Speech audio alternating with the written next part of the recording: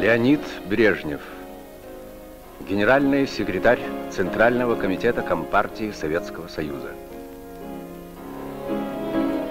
В этом фильме мы расскажем о его жизни, работе и личных его качествах.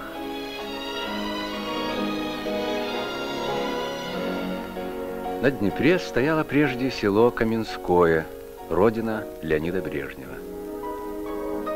Так оно выглядело в год его рождения. Те же места сегодня, 66 лет спустя. Село стало крупным городом Днепродзержинском. Такие перемены характерны для всей страны. Поколение, которому принадлежит Леонид Брежнев, своими руками создавало не только свою судьбу, но и новую судьбу страны. Биография генерального секретаря типична для русских коммунистов его поколения. Здесь прошло его детство. Отец был рабочим на металлургическом заводе. Революция в России произошла, когда Леониду Брежневу было 11 лет. По семейной традиции в 15 лет он становится рабочим металлургом. В 25 лет рабочие коммунисты приняли его в партию. Вскоре после революции в бывшем селе открывается индустриальный институт. Студенческая газета писала, откуда у этого человека столько энергии и трудоспособности. Все годы учебы в институте он продолжал работать на заводе, вел партийную работу и лучше всех защитил диплом. Инженер Леонид Брежнев обещает дать многое. Автор тех строк не ошибся. Вскоре земляки избирают Леонида Брежнева заместителем мэра города. Это были годы бурного промышленного развития всей страны. Еще через два года коммунисты избирают молодого инженера руководителем областной партийной организации. Приднепровье становится одним из главных индустриальных районов страны.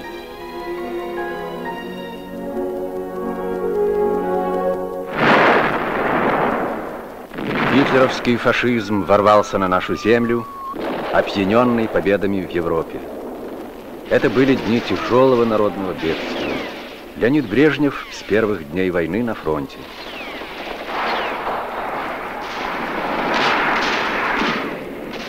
Он был офицером 18-й десантной армии. Эти кадры сняты во время героической обороны плацдарма на берегу Черного моря.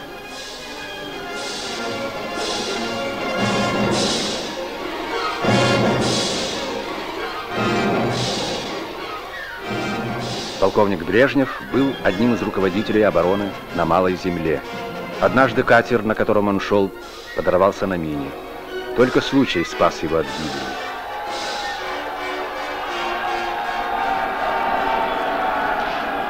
Леонид Брежнев был одним из тех, кто подготовил и осуществил знаменитый десант в Новороссийск. Крупный город и порт был взят семидневным штурмом с моря.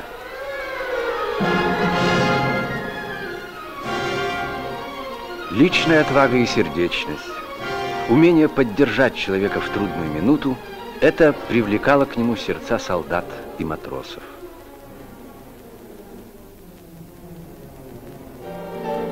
Посмотрите на происходившую уже в наши дни встречу ветеранов, и вы поймете, какое священное братство навсегда сплотило этих людей, не раз глядевших смерти в глаза. С героем Советского Союза Леонидом Брежневым встречаются бывшие однополчане. Это теперь традиция.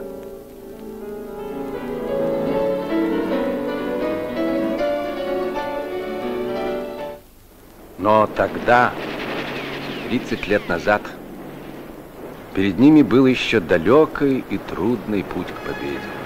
Бои за освобождение юга России. Шаг за шагом отбивая у врага Украину.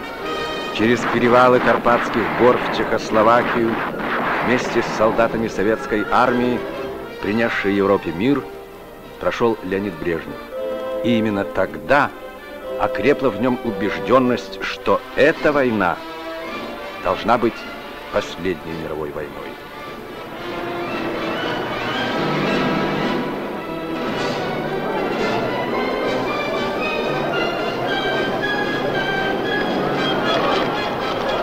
Весна 45 -го года. Встреча на Эльбе. В те дни, когда войска союзных армий встретились с солдатами советской армии, генерал Брежнев участвует в разработке заключительных операций. В числе самых заслуженных генералов он в строю Парада Победы в Москве.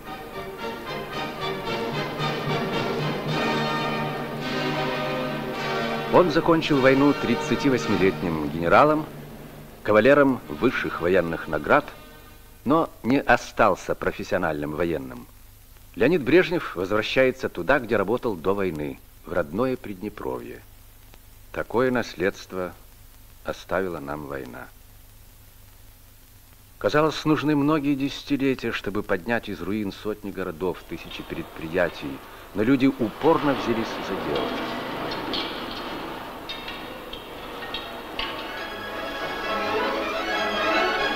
И даже такое, казалось бы, небольшое событие, как пуск восстановленного прокатного стана, становилось праздником. Леонид Брежнев в те годы руководитель областной партийной организации. Его энергия, неистощимый оптимизм были очень нужны всем. В эти годы его жизненный опыт и организаторский талант обретают зрелость. Партия поручает Леониду Брежневу все более важную работу. Он ведет партийную деятельность в Молдавии, в Казахстане.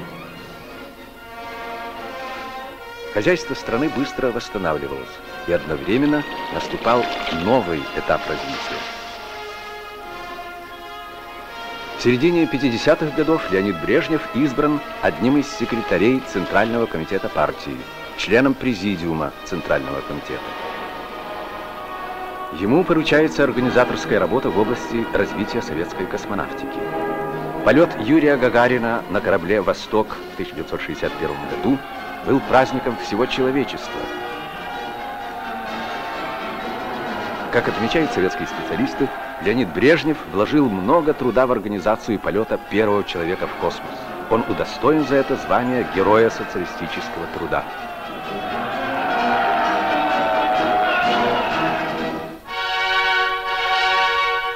Из рук Леонида Брежнева получил свою высшую награду первый космонавт планеты.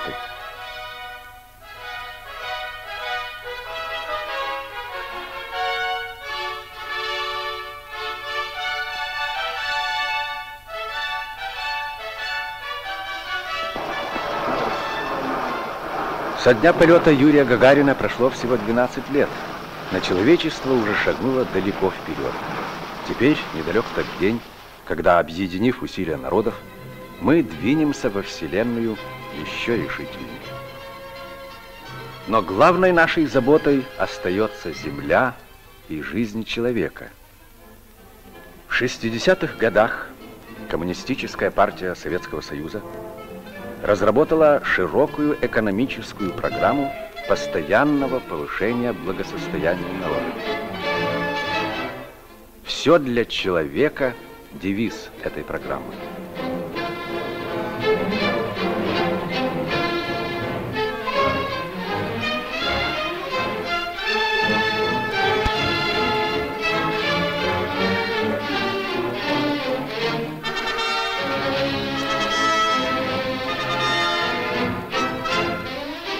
Осуществление экономической программы требует больших усилий народа, и организаторской работы самой партии. Леонид Брежнев, избранный в 1964 году на высший партийный пост, со всем присущим ему темпераментом и трудоспособностью руководит этой работой. Он в постоянном общении с людьми. Его можно встретить у тракторостроителей Украины. А через некоторое время он уже на строительстве крупнейшей гидростанции в горах Средней Азии. Большой жизненный опыт позволяет ему найти общий язык со всеми. Ему близки и понятны заботы земледельцев Сибири.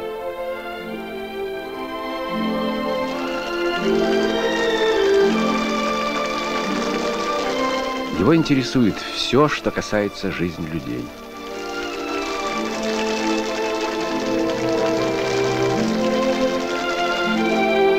Вот он знакомится с производством туркменских ковров, которыми эта республика славится на весь мир.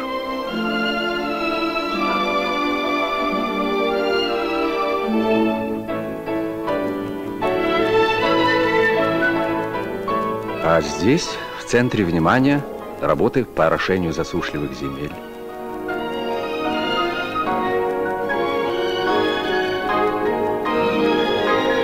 Но, конечно, техника, область его особых интересов. И здесь, на морских промыслах в Азербайджане, с механиками советского нефтяного турбобура беседует инженер Брежнев.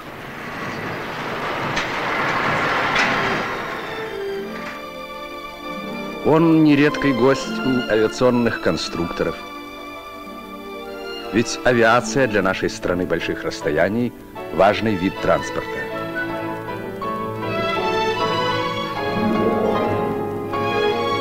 Почти ни одна выставка зарубежной техники не остается без внимания генерального секретаря.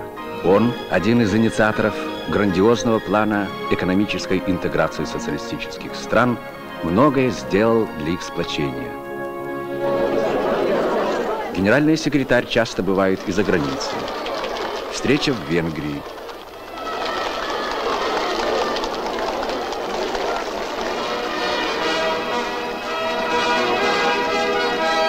Постоянный дружеский обмен мнениями с руководителями социалистических стран – неотъемлемая часть его работы. Прага, 70-й год. Здесь Леонида Брежнева встречает всегда сердечно. Люди помнят, что он участник освобождения Чехословакии от фашистов.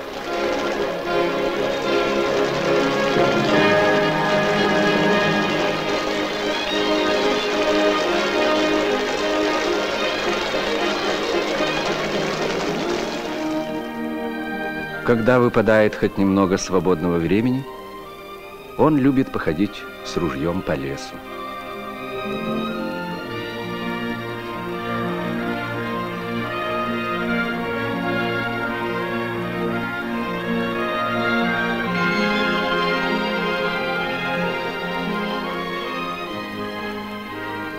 В большой и дружной семье Леонида Брежнева старшей является его мать Наталья Денисовна. Двое детей и трое внуков – главной заботой его жены Виктории Петровны.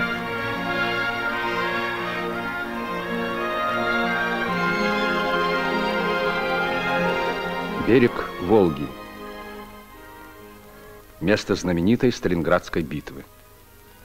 Наш народ, наш советский строй одержали здесь, на Волжских берегах, великую победу. Здесь нашей советской родине пришлось выдержать одно из самых тяжелых испытаний в своей истории. Здесь, на Мамаевом кургане, где, как говорят, к концу боев было больше металла, чем земли, все мы думаем о стойкости нашего народа, обо всем, что он перенес, не дрогнул духом, не усомнился в победе. Не раз бывало так, что на решающих поворотах истории наша страна, отстаивая свою свободу, спасала от порабощения другие народы. Так было, когда советская армия своим беспримерным мужеством спасла человечество от самой большой опасности, которая ему когда-либо угрожала от коричневой чумы фашизма.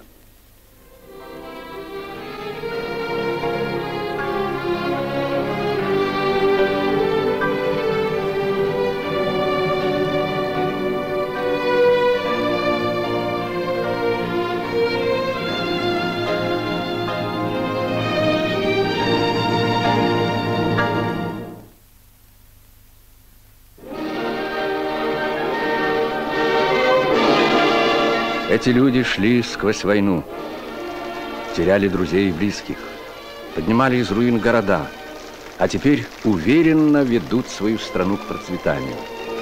Они составляют основу коммунистической партии Советского Союза.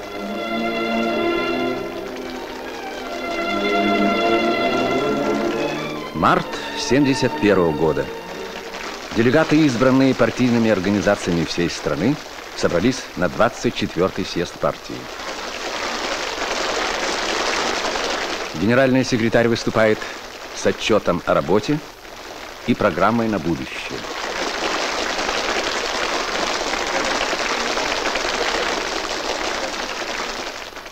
Товарищи делегаты, дорогие гости, со времени 23-го съезда Коммунистической партии Советского Союза прошло пять лет.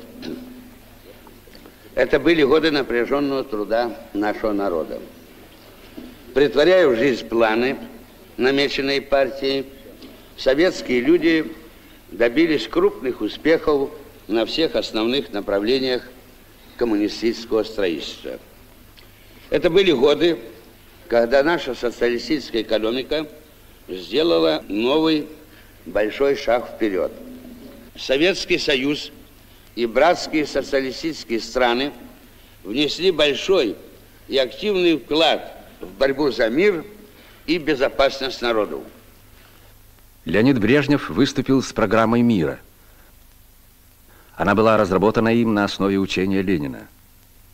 Страны с противоположным социальным строем могут и должны мирно сосуществовать и сотрудничать в области экономики. В выполнение программы мира Леонид Брежнев вносит свою энергию и способности.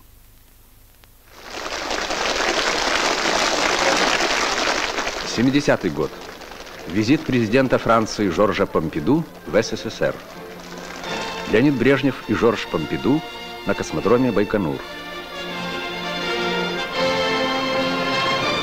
В личных беседах и поездках по стране Жорж Помпиду убедился, что Советский Союз готов к широкому сотрудничеству в различных областях науки, экономики и культуры.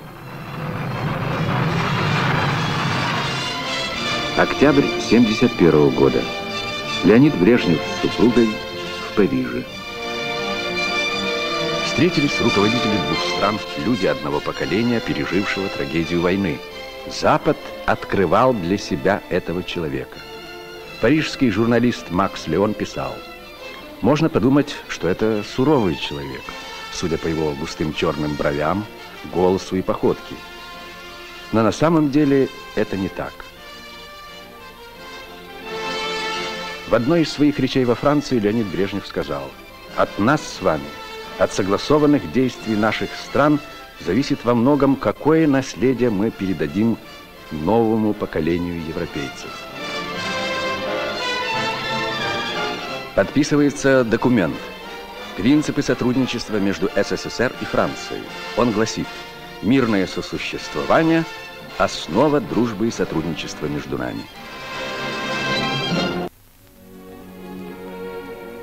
А эта советская мирная инициатива произвела в свое время сенсацию. Федеральный канцлер Вилли Брандт приглашен в Москву для переговоров. Они были непростыми. Долгое время наши страны почти по всем крупным международным вопросам стояли на противоположных полюсах. Московский договор между СССР и ФРГ положил начало переходу Европы к новой исторической фазе.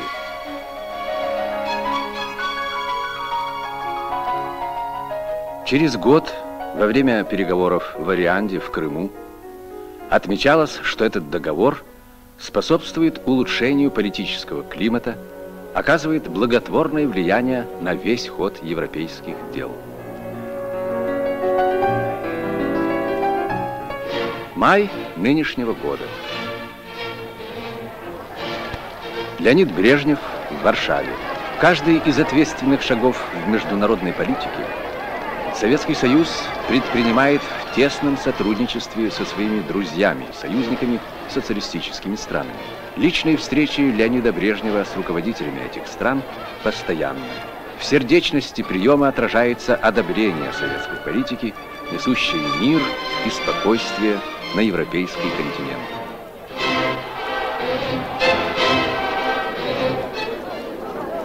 Берлин, столица Германской Демократической Республики.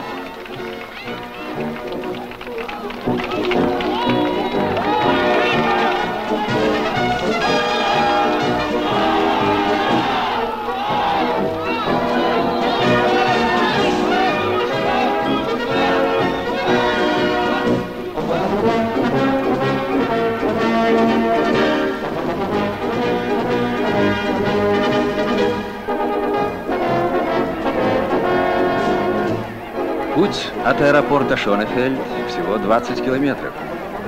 Но у советских гостей он занял два часа. То и дело происходили остановки.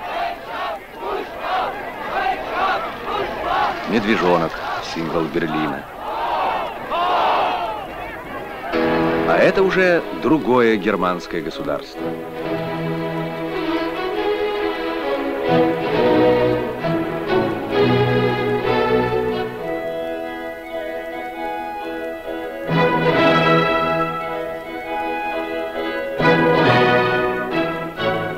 Леонид Брежнев прибыл сюда в мае этого года. Московский договор, подписанный более двух лет назад, уже принес свои благотворные плоды.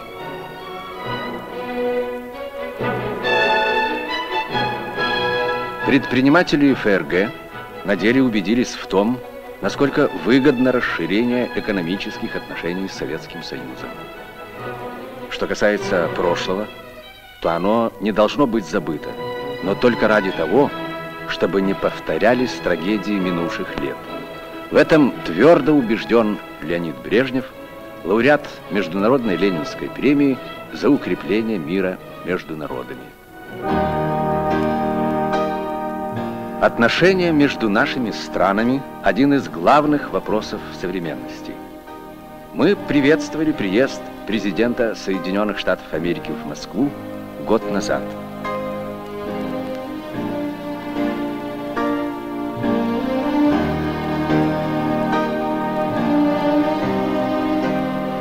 Много часов провел Леонид Брежнев в беседах с Ричардом Никсоном.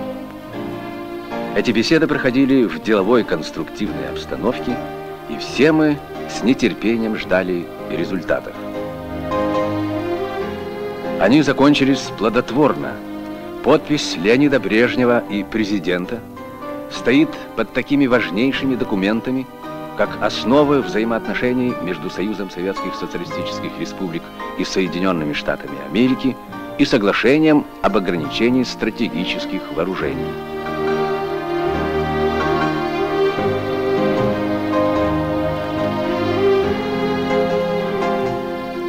Весь прошлый год и первые месяцы этого года – были наполнены событиями, которые подтвердили реальность улучшения советско-американских отношений.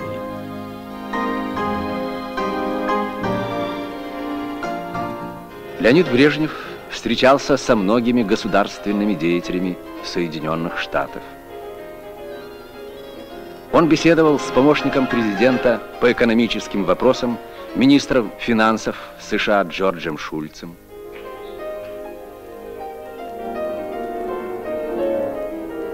помощником президента Генри Киссинджером,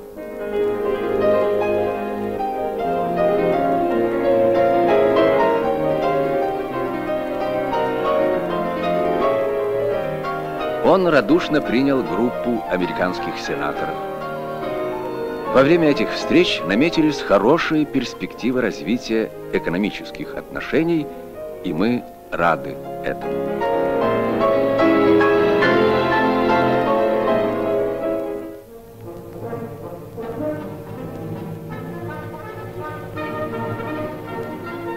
Наша страна, обладающая богатыми природными ресурсами, уже давно и прочно встала на путь быстрого технического прогресса.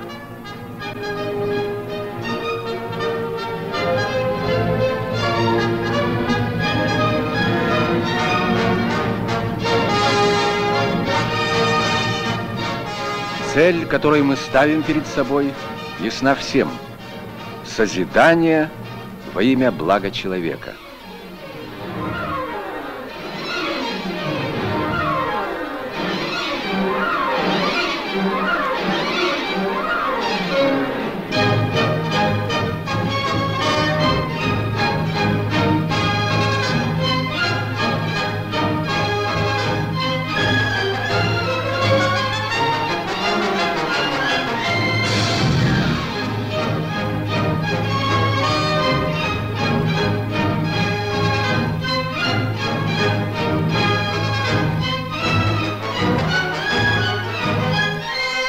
Первое мая 73 -го года. Обращаясь ко всем людям Земли, Леонид Брежнев говорит. Ленинская идея мирного сосуществования государств с различным общественным строем одерживаются новые и новые победы в умах людей и в практике международных отношений. Политика Советского Союза в Европе, как и в других частях света, это прежде всего политика мира. Этим определяется как развитие наших отношений и с Францией, и с Федеративной Республикой Германии, и с другими европейскими государствами. С этих же позиций мы подходим и к отношениям с такими государствами, как Соединенные Штаты Америки. Мы будем и впредь содействовать благоприятному развитию советско-американских отношений на началах взаимного уважения и взаимной выгоды. Гуманной цели посвятил свою жизнь человек, обладающий самым высоким авторитетом в нашем народе –